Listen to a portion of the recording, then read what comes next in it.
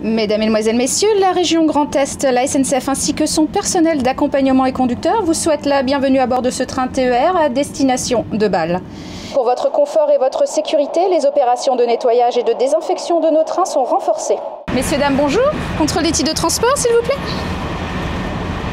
Euh, Moi, je travaille euh, depuis, euh, depuis la reprise, et j'ai même travaillé pendant. Les gens sont très responsables. Euh, le port du masque est, largement respecté. Euh, chaque train est désinfecté une fois par jour, donc euh, désinfecté avec un produit virucide, où tous les éléments du train qui sont amenés à être touchés par les voyageurs ou par nous-mêmes sont effectivement bien désinfectés.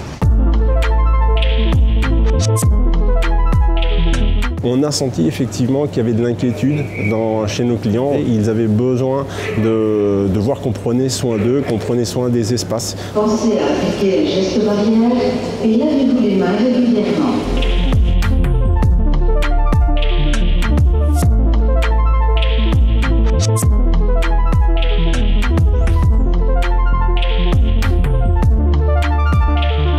Un des éléments sur lesquels on porte aussi beaucoup d'attention, bah, ce sont les, rampes d'escalier en gare de Strasbourg. Nous avons vraiment voulu euh, renforcer le nettoyage grâce à nos équipes de ces éléments pour permettre aux clients d'accéder à nos quais, de redescendre de nos quais en toute sécurité et qu'ils soient rassurés bah, dans tout le cheminement en gare. Mes collègues et moi, on est en- effectivement en première ligne. Euh, Nous sommes dans les trains. Le message que j'ai à leur dire, mais continuez à faire ce que vous faites, à être civique, à respecter euh, le port du masque et à sourire tout simplement parce qu'on voit votre sourire à travers le masque.